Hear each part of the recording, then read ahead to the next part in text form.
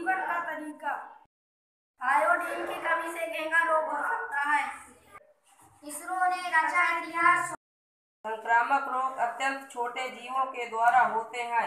इन्हें रोगाणु कहते हैं। रोगाणुओं को हम अपनी आँखों से नहीं देख सकते हैं। इन्हें देखने के लिए सूक्ष्मदर्शी माइक्रोस्कोप की सहायता लेनी पड़ती है।